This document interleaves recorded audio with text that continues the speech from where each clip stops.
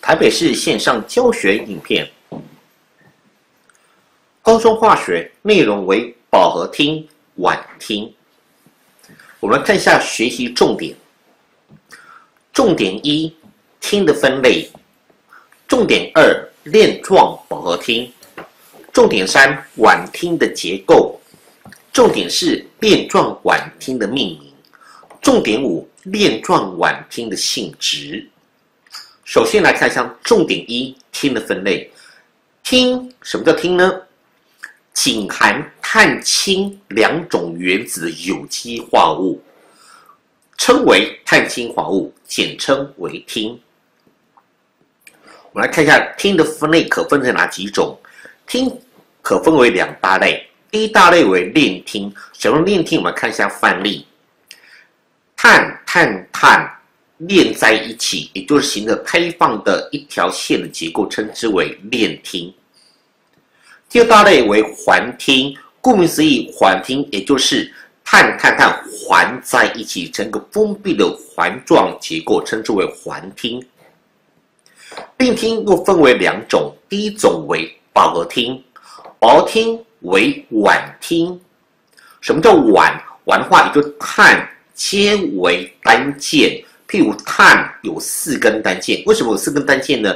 因为碳为四 A 组形成共价键时，可得到另外四个电子共用，形成八个体结构，因所以碳为四根键。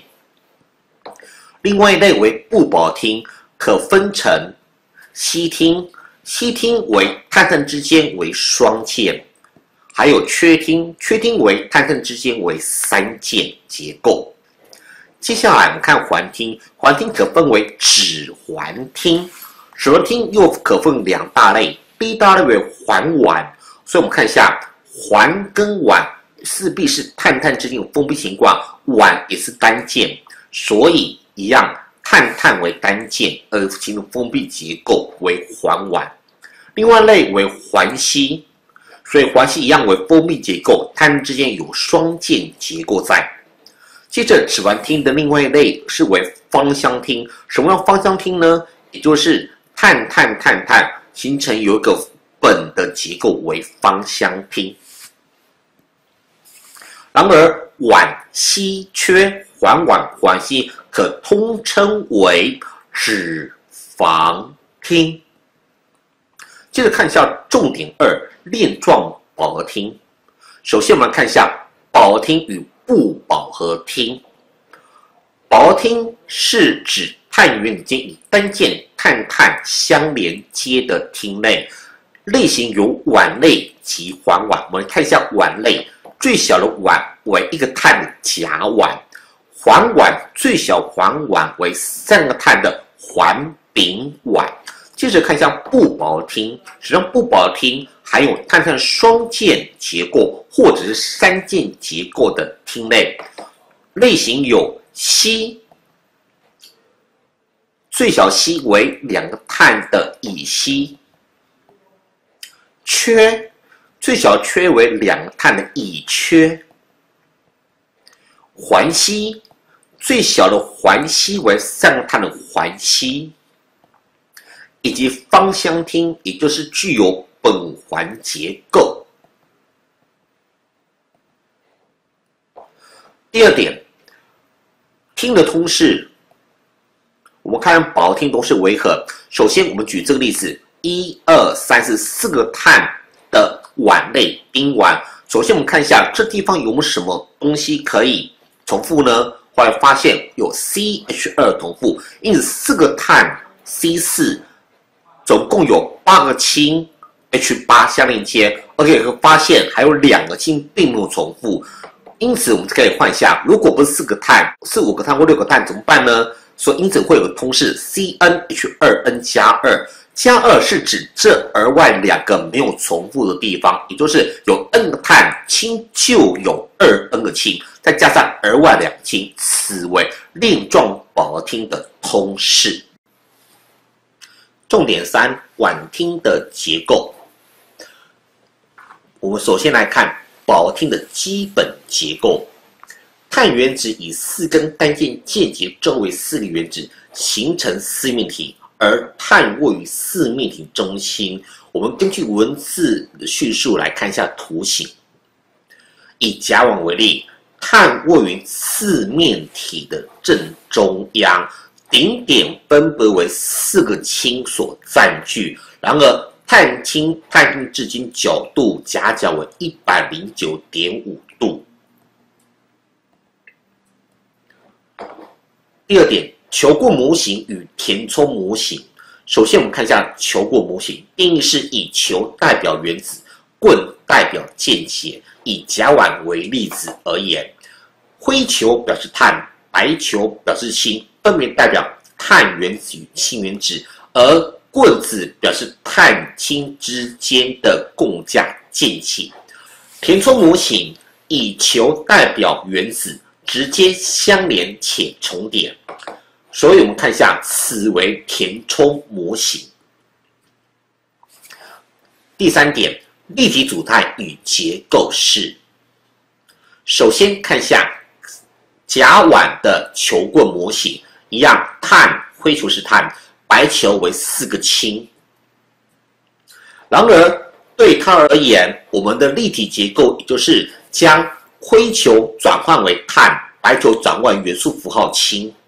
对此结构式而言，这一根为这个直线，这一根为这个直线，然后这两个直线分是位于整个荧幕的同平面上。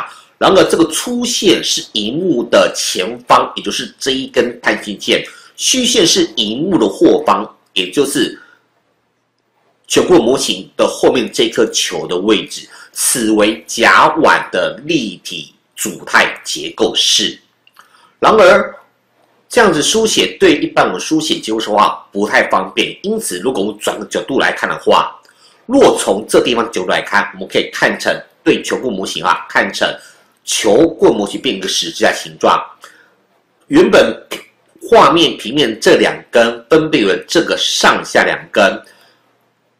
荧幕前方以荧幕后方这两根为左右这两根，因此它的结构式就可以写成我们常写结构是 C H four。因此我们看到甲烷结构 CH4 不代表半径之间为九十度，事实上它是立体组态一百零九点五度，从不同角度所看出来的结构式。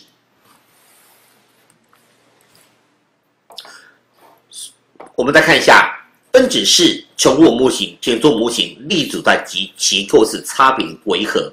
对甲烷而言，CH4、乙烷 C2H6、丙烷 C3H8，此为我们所书写的分子式。其结构模型分为一个碳、两个碳、三个碳。球棍模型我们可以看得出它是属于立体结构，然后而填充模型可以看得出它整个。原子分布的范围为何？接着，立体组态对甲烷而言，立体组态是由球棍模型去衍生过来的。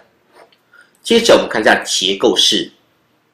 结构式我们可以由立体组态从一个方向来观察到，因此可以将立体组态结构式转换为我们一般书写结构式。所以，甲烷结构式为 CH4 十字架情况，乙烷一样是两个实在情况。丙烷也可以写成三根十字架的情况，方便书写。再看其他例子，丁烷、戊烷、己烷为例，分子是 C 四 H 十、C 五 H 十二、C 六十四，结构式把它展开来就可以看得出来，它们我们一般所书写结构式的情况。接着我们再看另外一种结构式的写法，也就是将氢不要全部展开来。为了方便书写，将三个氢合在一起，因此结构式就变成我们这个形式：CH 三、CH 二、CH 二、CH 三。然而这样写完之后，发现氢也是可以再把省略掉，因此只要写出以碳为准碳链结构式即可，也就是变成丁烷只需要写四个碳，戊烷写五个碳，己烷六个碳。然而，还有另一种结构是称之为骨架结构式，也就是说，我们元素符号碳也不要写出来了，直接以折线方式来代表结构式。此为股价结构式，每一个点或折点都是一个碳，因此丁管四个碳分别为一、二、三、四，戊烷五碳，一、二、三、四、五，己烷六个碳，一、二、三、四、五、六，此为股价结构式。